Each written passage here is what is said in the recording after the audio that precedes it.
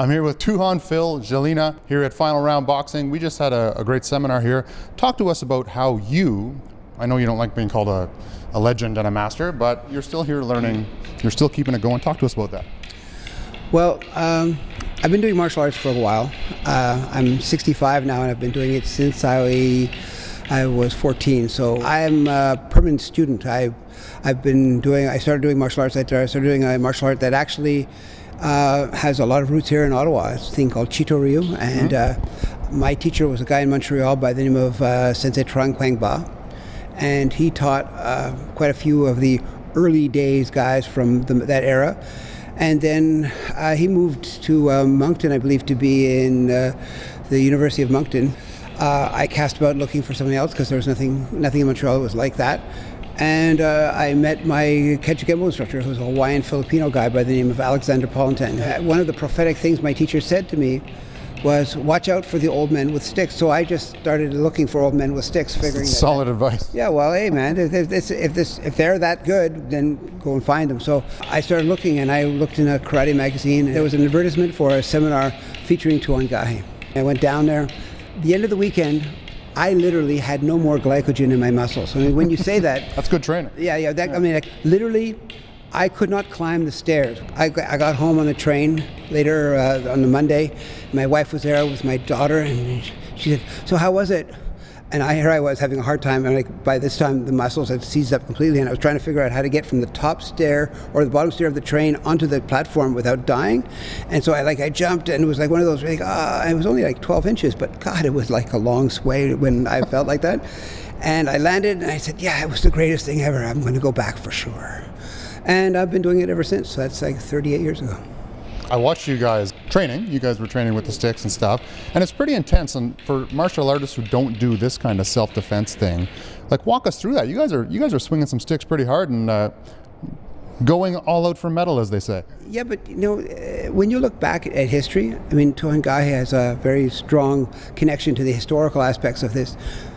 This is what people do all the time. If you are fighting for land or for position or for pride or for whatever wars are fought for.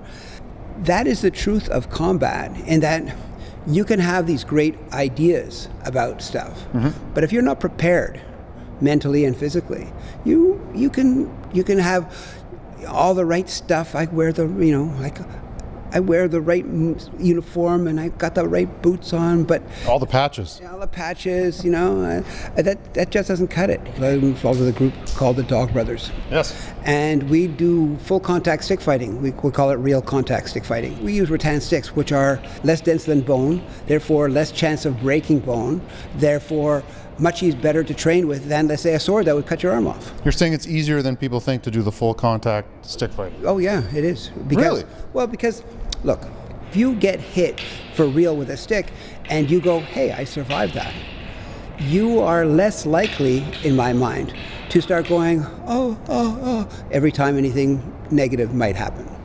And so a lot of the, the, the stick fighting we do is just for that reason. It's, it's, you know, the, the Dog Brothers, it's like, look, we want to face those demons that we have. Mm-hmm. Uh, you know, the, we we have access to the technical details from training with people like Tuhon Gaje, but at a certain point, you have to make the transition. You know, why do we have special forces that are specially trained to do special things? Because not everybody wants to do them. Not everybody can so do them. it comes back to the training. And it comes yeah, back to the training. right. So that there, you actually have to survive the training. It's not just, oh, I'm going to do all these things. It's not like a great game of patty cake. It's really a game of survival. And your mental positioning is what makes you stronger to take it or, you know, motivates you to give up. Talk to me a bit about blending styles because I've been fortunate enough to be at some of your seminars years ago, and I watched you uh, stick fight with a guy then take him down, get full mount, then he scrambled, you took his back, and you choked him with a stick. Like that's like every art that I love encompassed in one. Talk to me about the importance of that. Well, we actually call that uh, Kali Tudo. I know it's, oh, a, it's oh, very, it's that's a, a, cool name. And it, Marc Denny, out if you're out there listening, uh, to, to, what's it called? Um, trademark, trademark. Yeah. anyway, anyway um, but uh, yeah, that's the idea. It's the same thing. It's it's to, you know, be able to kick and punch, to be able to go in and grapple, to be able to use a knife if that's what you have, to be able to use a sword if that's what you have, to be able to use a stick if that's what you have, to be able to transition all of those those ranges of combat and be able to figure out how to supersede the circumstances you're under. Fantastic. Thank you very much for your time, sir. Welcome. Thank you very much.